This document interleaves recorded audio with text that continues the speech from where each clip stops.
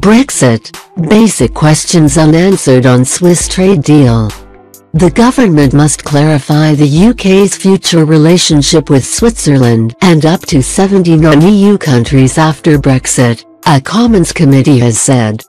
Last month, International Trade Secretary Liam Fox announced a deal to allow British and Swiss businesses to continue trading freely after Brexit.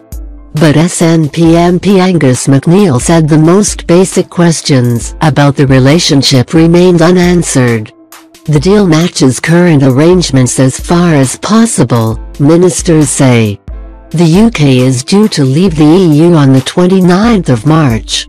A crunch vote in the Commons on the Prime Minister's withdrawal deal takes place on Tuesday. Last month, the government announced that it had approved the transition of a trade agreement with the Swiss Federal Council that will come into effect in January 2021 or on the 29th of March this year if the UK leaves the EU with no deal. Switzerland is not a member of the EU, but is part of the bloc's single market.